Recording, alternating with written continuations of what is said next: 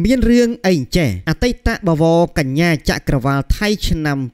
2019ដេកភ័យខ្លួន គ្រាដែល មានអ្នកគ្រប់គ្រងរួមគ្នាជាមួយនឹងកញ្ញាមិនភីឆាយាបវរកញ្ញាចក្រវាលថៃវ៉ាសៃ PV ស៊ូដា Draw In ព្រួយបារម្ភនិងភ័យខ្លាចព្រោះពេលនេះជាពេលវេលាដ៏រសើបមួយ ដែលព័ត៌មានអំពីករណីបោកប្រាស់របស់ក្រុមហ៊ុន DI Con Group កំពុងតែរីករាលដាលពាសពេញផ្ទៃប្រទេសឈានដល់ការចាប់ខ្លួនតារាល្បីល្បីរួមទាំងអ្នកជាប់ពាក់ព័ន្ធបើយោងតាមសារព័ត៌មានខៅស៊ូតបានបញ្ជាក់ឲ្យដឹងថាអតីតបវរកញ្ញាចក្រវាលថៃឆ្នាំ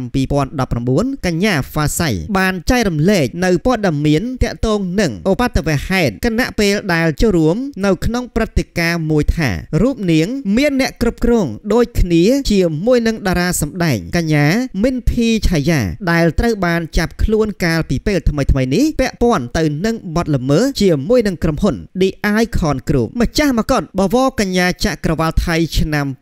2019និងជា ចំណាត់ថ្នាក់ Top 5ក្នុងកម្មវិធីបវរកញ្ញាចក្រវាលបានបង្ហើបឲ្យដឹងថា នាងមិនបានជួបអ្នកគ្រប់គ្រងដែលមានឈ្មោះថា PS ញឹកញាប់ទេក្នុងពេលនេះបើសិនអ្នកទាំងពីរជួបគ្នា គឺនិយាយតែពីរឿងការងារតែប៉ុណ្ណោះបវរកញ្ញាដែលមានវ័យ31ឆ្នាំរូបនេះ ថែមទាំងចែករំលែកទៀតថាលើកចុងក្រោយដែលយើងបានជួបគ្នាប្រហែលជាមួយខែមុន នៅពេលនោះគាត់ឧស្សាហ៍ព្យាយាមយ៉ាងខ្លាំងចំពោះការងារនិងវិជ្ជាជីវៈរបស់គាត់ប៉ុន្តែ នាងក៏បានបញ្ជាក់ច្បាស់ច្បាស់ថាខ្លួននាងផ្ទាល់ជាមនុស្សដែលសម្រេចចិត្តទទួលយកការងារឬអត់មិនមែនអ្នកគ្រប់គ្រងរូបនោះជាអ្នកកំណត់ទេ នៅពេលសួរអំពីមុខតារាល្បីល្បីមួយចំនួន ដែលត្រូវបានចាប់ខ្លួនពាក់ព័ន្ធទៅនឹងបទខ្លែងបន្លំបវរកញ្ញាចក្រវាលថៃរូបនេះបានសម្ដែងការព្រួយបារម្ភនិងភ័យខ្លាចជាខ្លាំងនាងជឿជាក់ថានេះជាមេរៀនសម្រាប់ខ្លួននាង និងមនុស្សគ្រប់រូបដោយបានសង្កត់ធ្ងន់ថាមុននឹងទទួលយកការងារអ្នកត្រូវតែពិនិត្យឲ្យបានម៉ត់ចត់គ្រប់យ៉ាងតាំងពីការផ្សព្វផ្សាយពាណិជ្ជកម្មផលិតផល រហូតដល់គេឈ្មោះអាជីវកម្មនោះកញ្ញាហ្វាសៃបាននិយាយថាប្រសិនបើនរណាម្នាក់តាក់ទងខ្ញុំសម្រាប់ការងារនៅពេលនេះខ្ញុំនឹងត្រូវពិចារណាដោយប្រុងប្រយ័ត្នឥឡូវនេះខ្ញុំពិតជាភ័យខ្លាចនិងព្រួយបារម្ភខ្លាំងណាស់កញ្ញាមីនភីឆាយាជាតារាថៃម្នាក់នៅក្នុងចំណោមតារាថៃ3នាក់ដែលត្រូវបានចាប់ខ្លួនកាលពីថ្ងៃទី16ខែតុលាឆ្នាំ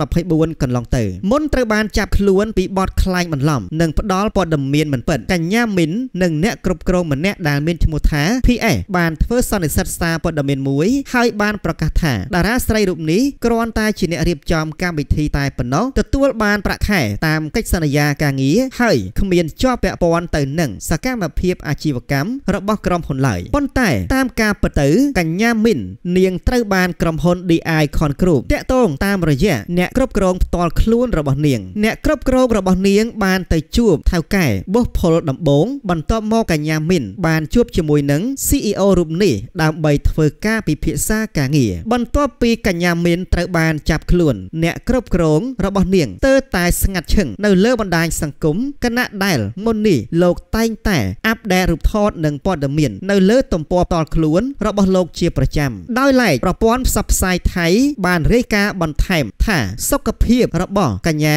មីនភីឆាយាក្នុងអំឡុងពេលឃុំខ្លួន នាងមិនមានការព្រួយបារម្ភអីនោះទេមេធាវីអាចជួបសួរសុខទុក្ខនាង បានជារៀងរាល់ថ្ងៃដោយមិនកំណត់ពីពេលវេលា ចំណែកឯសាច់ញាតិអាចមកលេងបានម្ដងក្នុងមួយថ្ងៃ រយៈពេលចន្លោះពី15ទៅ20នាទីយ៉ាងណាបន្ទាប់ពីកញ្ញាមីនត្រូវបានចាប់ឃាត់ខ្លួន អ្នកគាំទ្រជាច្រើនក៏បានស្នើសុំទៅកាន់មិត្តប្រុសរបស់នាងកុំឲ្យចាកចេញពីនាង ហើយមិត្តប្រុសរបស់នាងក៏បានទៅសួរសុខទុក្ខដល់រូបនាងភ្លាមភ្លាមទៅតាមអ្វីដែលអាជ្ញាធរបានអនុញ្ញាតឲ្យគាត់